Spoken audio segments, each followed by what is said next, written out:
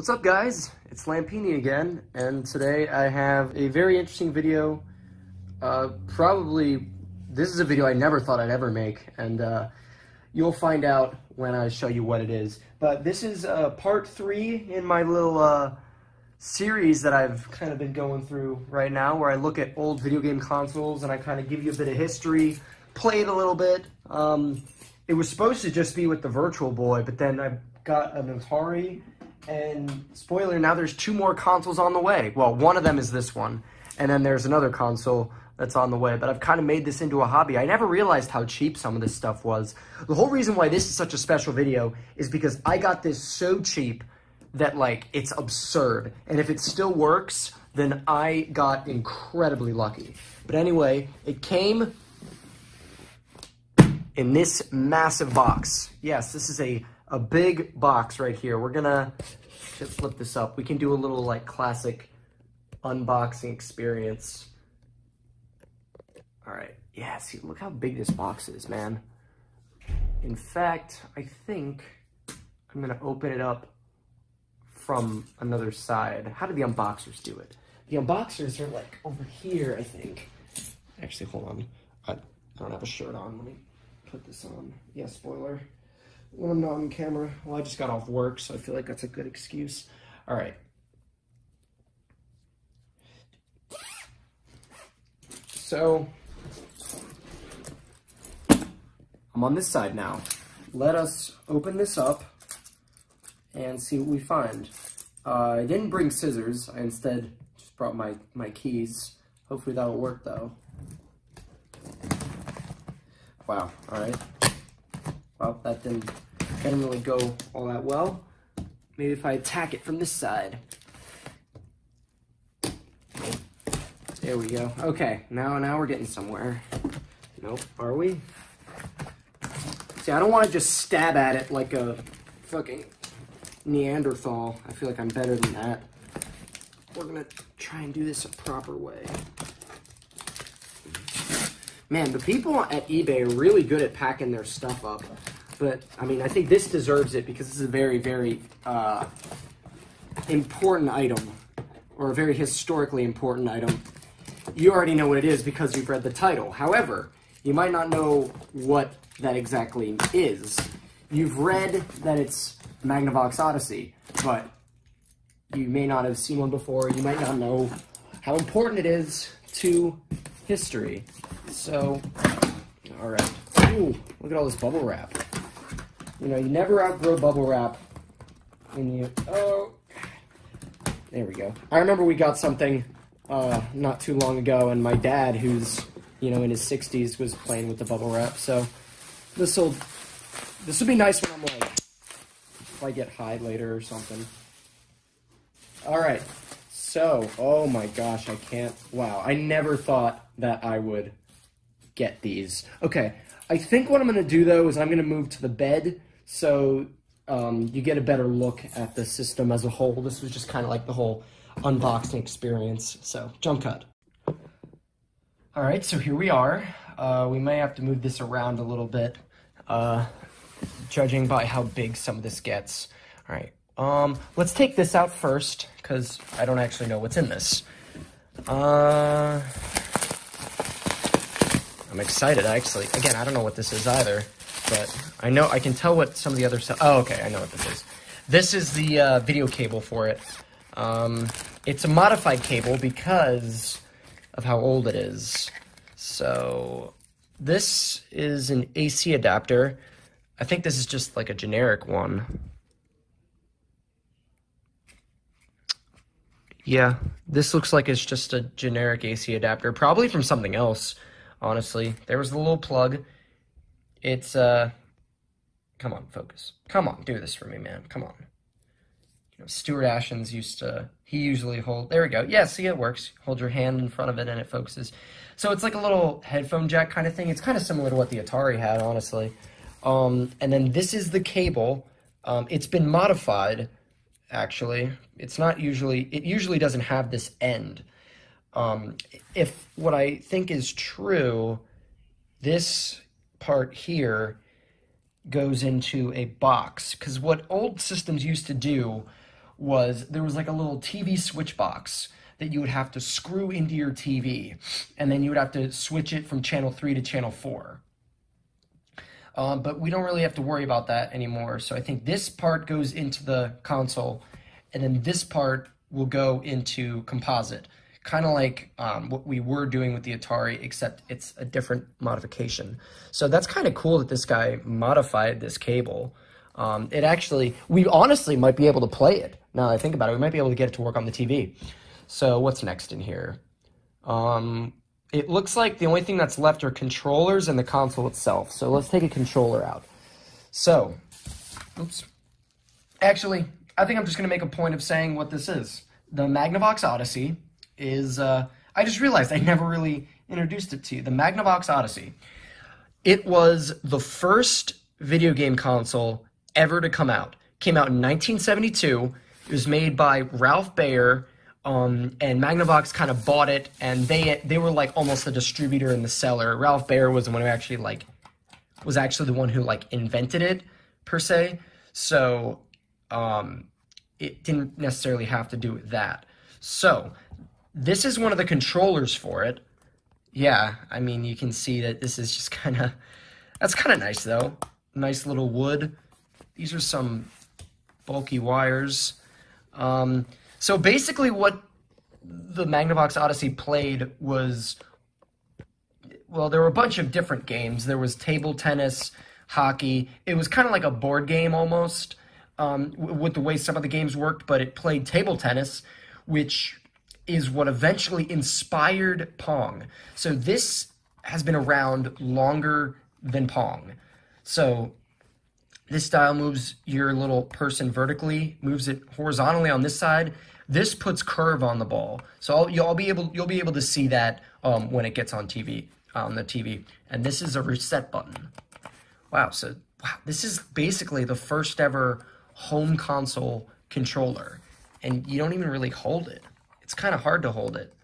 You basically have to um, you basically put on on a table or something, and then move it about, and then wow, look at that port. Whew you know something important's going on if you have to plug something like that in. Look at that. But that's 1972 for you. Keep in mind, 1972. Um, well, we, we did go to the moon, uh, but I'm trying to think what what wasn't around. That was 1972. That was that was more than 10 years before Mario, just about. So gives you an idea. Now this came with four controllers, which I don't really know why, because to my knowledge, you can only plug in two controllers. So um, we're just going to take those other ones out and then just go on the, uh, go, wow. God, the console's bigger than I thought. Okay, so those are the controllers, and now we're going to take, wow, Magnavox Odyssey. I cannot believe this. So one of the reasons why I'm so surprised that I got this was because they go for crazy expensive, because not even a million of these were sold. They did not sell a lot of these at all because it was the first ever video game system. It was relatively expensive, and there was something going around that people thought you could only play them on Magnavox TVs because it's called the Magnavox Odyssey.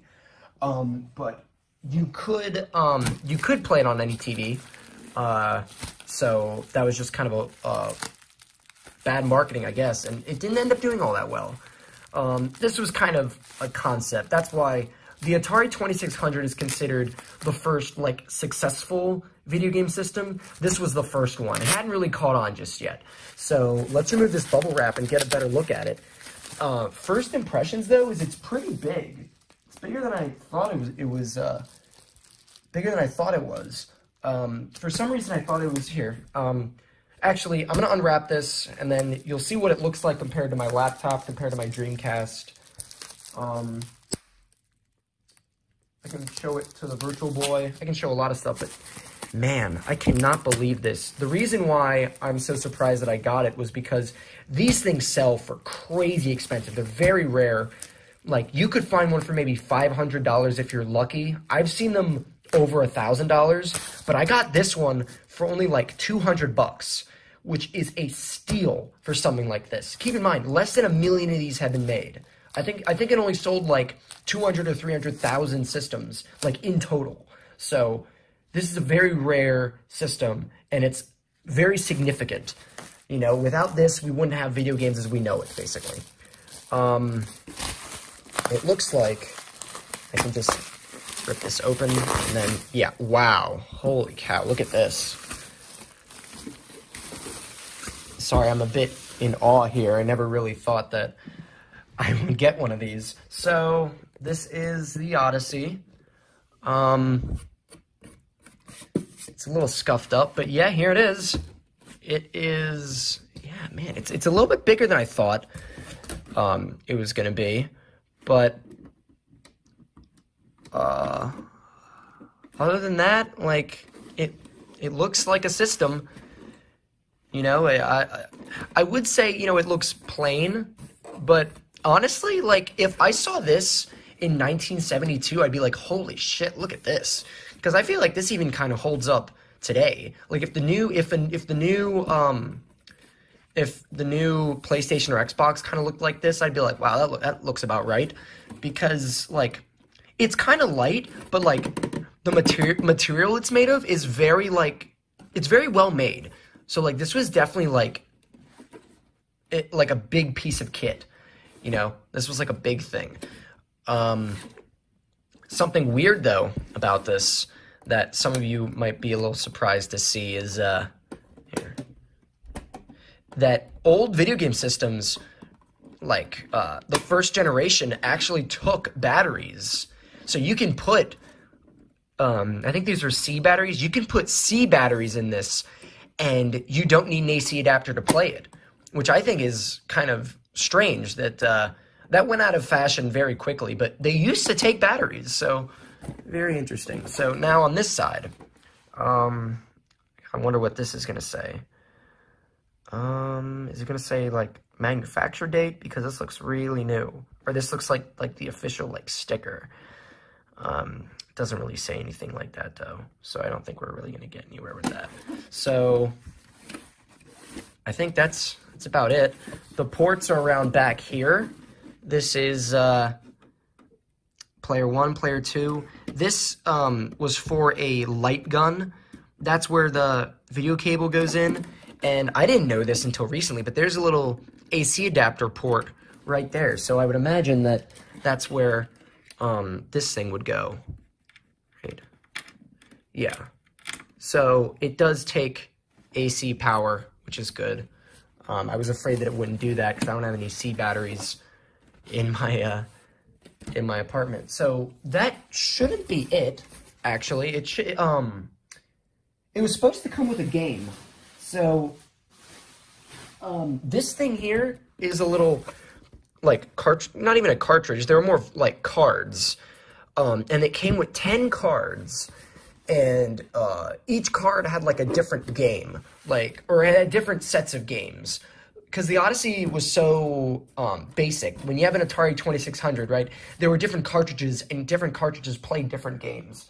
But the way the Odyssey worked is you would put a card in, and then instead of having two dots on a screen, there would only be one, or there would be, um, oh, pause.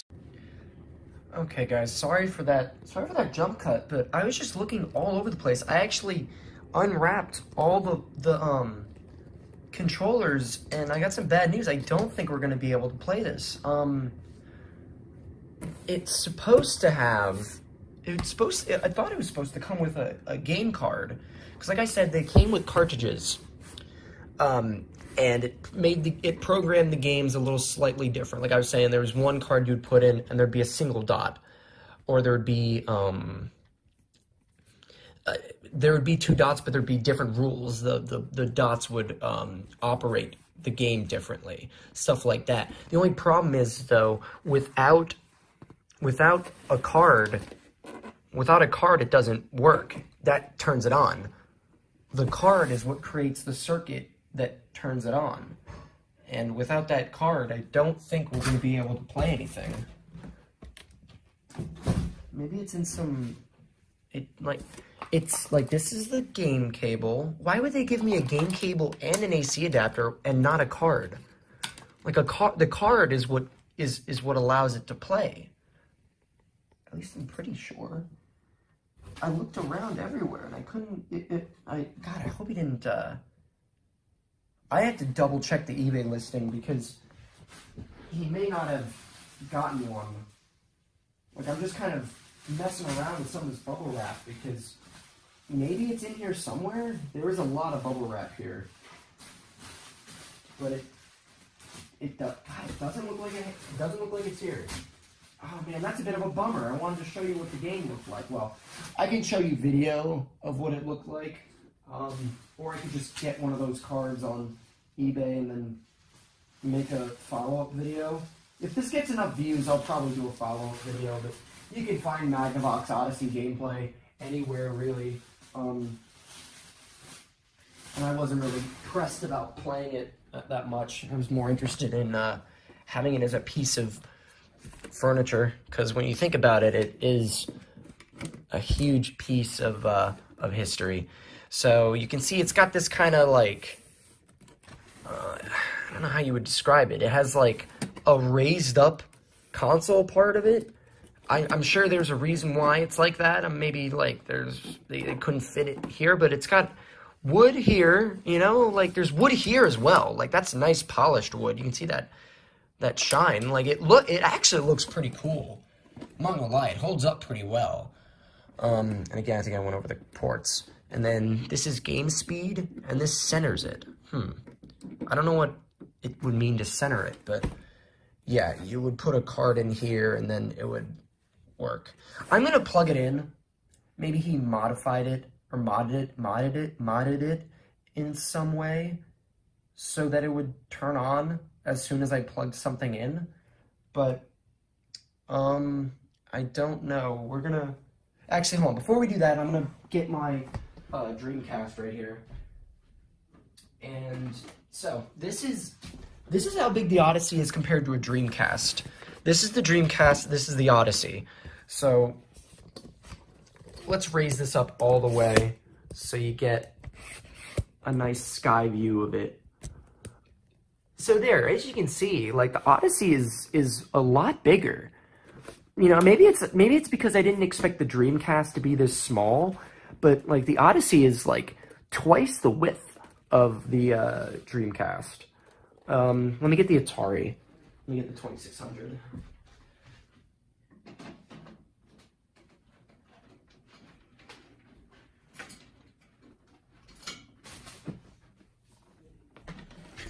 and this is the Atari. Actually, the Atari is kind of a, a similar size to the Odyssey. If anything, it's kind of, um... But see, here's the weird thing. This came out in 1972, this came out in 1977, but if you think about it, if I laid these two side by side, you'd probably think this one is newer. This one is uh, more modern, because it honestly looks that way to me. Um, wow, that's fascinating. Okay, well, I'm gonna bring you away, Atari, because you actually work. The Odyssey, it doesn't look like it's going. But, but we're gonna give it a go anyway, right? We're gonna give it a go anyway. Okay, so I'm gonna jump cut to having all this plugged in and we're gonna see if it works. Well guys, I, uh, I plugged it in and it did not work. Um, well, I mean, I want to rephrase that. It's not that it didn't work, it's just that I don't have the card to make it work. um, which I think is okay. I mean, like, I wasn't, I wasn't really that pressed about playing it because it wouldn't be worth it. I mean, like, Atari games are primitive, but literally, like, the footage that I've been splicing in, you can see it. The graphics this creates is barely anything. It creates two square dots. And so the gameplay is, leaves much to be desired. Um, it's not necessarily, I would say, as retro as a top the 2600 because the 2600 is retro, right? Because it has it has the the same cartridges. It was it was the first like successful one. It had colorful cartridges. There was a lot about the um, Atari that was fun. It felt like a you know a video game system. Uh, it felt like something new. And don't get me wrong, the Odyssey did definitely it definitely was something new but they, they hadn't figured it out yet. You know, it's kind of like, um, jeez, it's, it's like, um, an early version of the internet or early version of like social media. I can't I can't really think of it off the top of my head, but you know, it was the first of its kind, and it doesn't surprise me that it didn't do well because the first of its kind in pretty much anything doesn't really do all that well. It set the groundwork for what was going to be an incredibly successful industry. You know, this launched the biggest entertainment industry in the world, pretty much. I think it surpassed film uh, not too long ago. So it definitely has a place in history. Um, it's a shame that more people don't know about it. Well, I wouldn't say it's a shame, but like not a lot of people know about it. If you told them, if you told someone, you know, what what the um, first video game system was, most people who knew anything would probably say the Atari or Pong. But home game console is this one. You know, this is pretty as close to ground zero as you can find with for the uh, video game industry. So while it's a shame that I couldn't get it to work, it is still really, really cool that I have it around. Because like I said, these can go for up to, you know, one, two, three, maybe $5,000. The fact that I got one for so cheap is, uh, it's more than enough for me. So that concludes this episode. I'm sorry, it was a bit of a downer compared to the Virtual Boy video and even the 2600 video. Um, we didn't get to see actual any actual gameplay. But my next video, that one, is going to be a bit more exciting. Uh, we are going to take a look at another Atari system, the successor to the 2600. See you guys.